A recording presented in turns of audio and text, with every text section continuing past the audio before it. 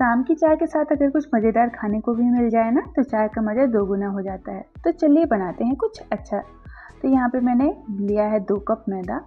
मैदा में डालेंगे एक छोटी चम्मच नमक और इसके बाद डालेंगे एक छोटी चम्मच आजवाइन आजवाइन को थोड़ा सा हाथ में डाल के क्रश कर लेना है, ताकि जो आजवाइन का फ्लेवर है ना, वो मैदा में बहुत ही अच्छे तरीके से आ जाए। यहाँ पे हाथ से मैंने मसल लिया है थोड़ा सा और इसे हम मैदा में मिक्स कर लेंगे।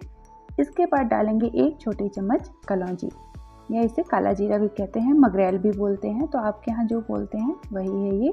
इसके बाद एक चम्मच कसूरी मेथी। कसूरी मेथी को भी हाथ से ऐसे थोड़ा सा मसल लेना है और इसके बाद मैदा में मिक्स कर लेंगे। मोहन के लिए डाल रही हूँ मैं यहाँ पे दो बड़े चम्मच ऑयल। इससे जो हमारा नाश्ता बन करके तैयार होगा ना अच्छा खस्ता बन करके तैयार होगा। इसके बाद मैदा और ऑयल बाकी के मसालों को अच्छे से हमें मिक्स कर लेना है। मोहन जब अच्छे से मैदा में मिक्स हो जाए तो इसे बाँध के देख लेंगे। अगर मैदा बंध रहा है, इसका मतलब मोहन मैदा में अच्छे से मिक्स हो गया है। इसके बाद थोड़ा थोड़ा पानी डालते हुए इसका हमें एक सॉफ्ट डो बना करके तैयार कर लेना है।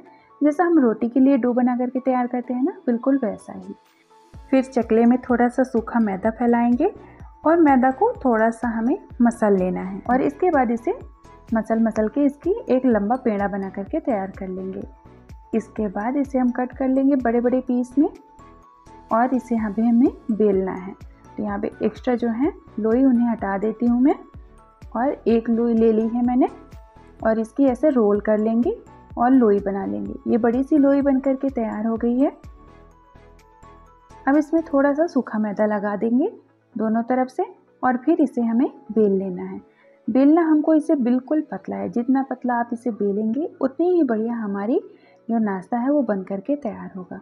यहाँ पे मैंने इसे बहुत ही बढ़िया से पतला बिल्कुल बेल लिया है।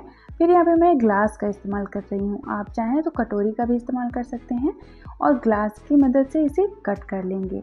इससे ही छोटी छोटी जो है मछली बन कर के तैयार हो जाएँगी। ये नमकीन मछली चाय के साथ बहुत ही अच्छी लगती हैं। और इन्हें आप स्टोर करके भी काफ़ी दिनों तक रख सकते हैं या ट्रैवल में जा रहे हैं तो आप इन्हें बना सकते हैं। बहुत ही अच्छी लगती है ये मछली। तो यहाँ पे एक एक करके सारी मछली को एक प्लेट में निकाल लेंगे। ये देखिए, ये गोल गोल मछली बन कर के तैयार हो गई हैं। आप चाहें तो अगर आपके पास कटर है तो आप उसकी मदद से दूसरे शेप में भी इन्हें कट कर सकते हैं। और ये हमारी एक बैच की मछली बनकर तैयार है। फिर कढ़ाई में ऑयल डाल देंगे। फ्लेम को यहाँ पे मीडियम रखेंगे और मीडियम ऑयल पे मछली को एक एक करके डाल देंगे। फ्लेम को यहाँ पे अभी हमें धीमा कर लेना है और धीमी आँच में ही मछली को हमें तलना है, क्योंकि अगर फ्लेम हाई या मीडियम रहा ना तो मछलियाँ जल जाएँगी और अंदर कच्ची रह जाएँगी। तो लो फ्लेम पे इन्हें अच्छे से गोल्डन ब्राउन होने तक फ्राई कर लेंगे और ये हमारी खस्ता कुरकुरी मछली बनकर तैयार है।